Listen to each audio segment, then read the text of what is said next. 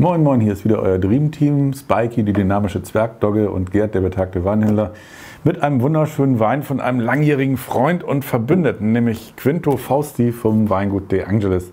Der gute Quinto ist der vermutlich beste Winzer der südlichen Marken in Mittelitalien, hat die Gegend eigentlich im Alleingang auf die Karte der Genießer gebracht.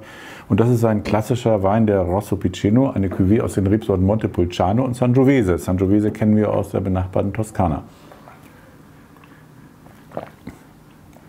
Ja, und das Ganze ist einfach ein herzhafter, sauberer, ganz, ganz ehrlicher Tropfen, ausgebaut im großen Holzfass, nicht im Barrique.